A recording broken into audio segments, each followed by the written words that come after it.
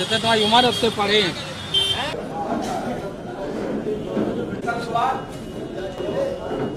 देखिए, कुछ लोग कार्यकर्ता हमारे दूसरे दलों में चले गए थे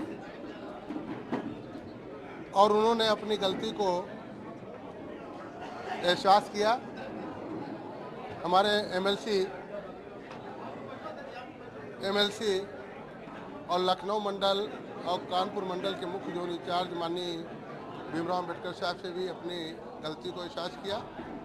और मान्य बहुजन समाज पार्टी की राष्ट्रीय अध्यक्ष मान्य बहन कुमारी मायावती जी से हम लोगों ने इसका निर्देश लिया। तो मान्य बहन जी के निर्देश पर आज जो कानपुर से मेयर, पूर्व मेयर का चुनाव लड़े थे जनाब सलीम अहमद साहब कांग्रेस में चले गए थे। आज उनके साथ सैकड़ों कार्यकर्ता बहुजन समाज पार्टी में शामिल हुए हैं और मैं इनको मान्य भाई जी के निर्देश पर शामिल करता हूँ और इनका मैं इस्तकबाल करता हूँ। अब हमारा पुराना घर था, फिर हम उसी घर में वापस आ गए। हमने बहन जी से मिल के अपनी गलती स्वीकारी कि हमसे बहन जी गलती हुई और बहन जी का आशीर्वाद लेके बहन जी के निर्देशों से दोबारा बहुजन समाज पार्टी में और नहीं, हम तो अब पार्टी के कार्यकर्ता बन के काम करेंगे जो हमारे यहाँ के जोन कोऑर्डिनेटर साहब हैं, जो उनका निर्देश होगा, उसको लग के हम काम करते रहेंगे।